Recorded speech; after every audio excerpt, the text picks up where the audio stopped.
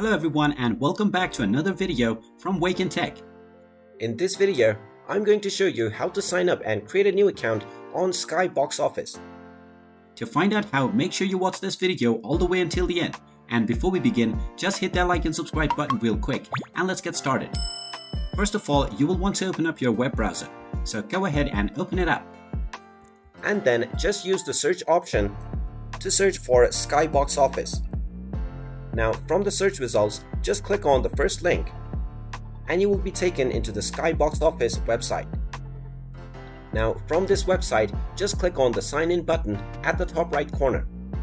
This will now redirect you into another page from where you can sign in or create a new account.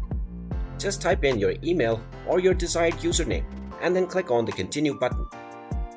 Now you will be asked to type in your name. Just type in your full name and then create your desired password. After doing this, click on the continue button and you will receive a verification email from Sky Box Office. From this email, you can authorize your account and after doing that, you can use the sign in page to log into your account. And there you have it. That is how easy it is to sign up and create a new account for the Sky Box Office service. If you find this video helpful, make sure you hit that like button and subscribe to our channel if you haven't done so already.